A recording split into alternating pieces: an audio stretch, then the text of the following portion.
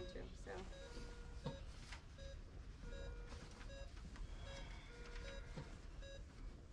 Listen to the chest. I've got good chest rise both okay. sides. You ready? I don't have my stethoscope. From fall, he's paralyzed, 50 of roc. You'll probably have to redo that in flight, so I take some with you. Um, he's received two liters of IV. And just for, for TBI purposes, he's going to need to be loaded head first. Okay? Head first and, and um, we're gonna need to give him. Uh, when was the dose of uh, roc given? How long ago?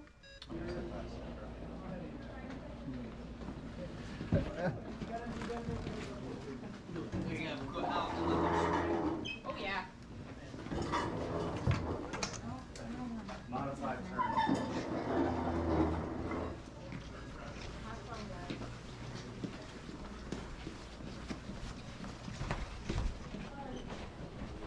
We're gonna have to uh, do an about face before we get him into the van. Okay, everyone.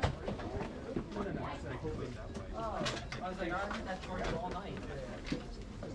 You got it. Point. Can we um, put him down so we can turn around? Sure. Ready to lower, lower. Alright, now turn around. You can close the door. Okay. Uh, it's on your call, Nettle. Yep. Prepare to lift, lift. Prepare to move, move.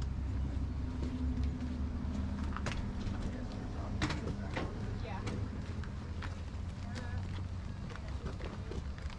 Um, Is this locked? ah. Okay. Well, which side do you guys want? Okay, that works. Prepare to lower, lower. Does that work? Now, if you get a couple of seatbelts, get the proper chest, and then these can kind of come up just a little bit.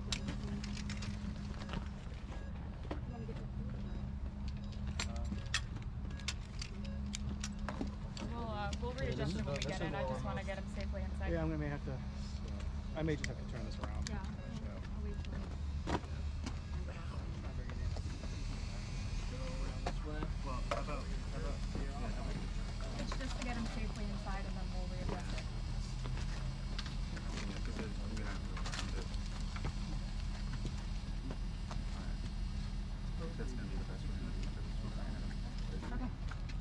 do it. How do we? Like that. Grab the front there and dive into this. It's like, how do we? oh, there we go. Oh, that just made everything easier. For, for the purpose of this exercise, there's no vent right now. If you don't have a vent, someone's gonna have to actively work on the patient.